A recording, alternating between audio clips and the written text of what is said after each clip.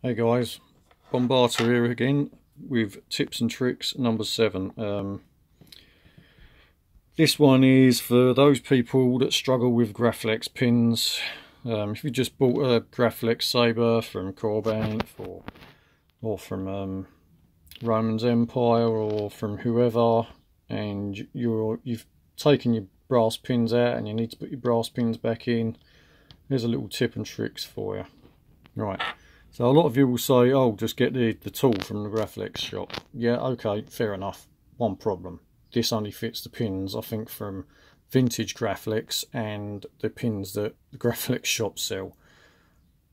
The size there is way bigger than the size of these, which is on the um, Deluxe Graflex blade holder from KR Sabres. Not sure if these are replacement short pins or whether these came with it or whether the customer purchased these or not because they were sent to me when I was um, commissioned for the build. But here's a little trick for you to make it easier. Just get yourself some heat shrink. Piece of heat shrink with the appropriate size and all you do is put the nipple end inside the end of the heat shrink. I'll pause this for a second so that I can do it because I'm holding the phone with the other hand. So, all I've done is put the end of the pin in the end of the heat shrink. And this allows you to easily thread in brass pin because I know a lot of people like myself struggle with them. And the one thing that this does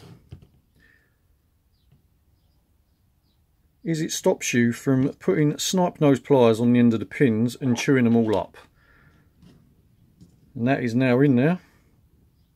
And if you really must nip it up you can just hold it at the base and then tighten it slightly with the um, snipe nose pliers or if you've got a tiny like um, model builders spanner that will fit that same thing. But to get the thread going and screw it all the way in tip of the day number seven use some heat shrink that fits it tightly and then hey presto one fitted brass pin. Thanks for watching guys. Bomb out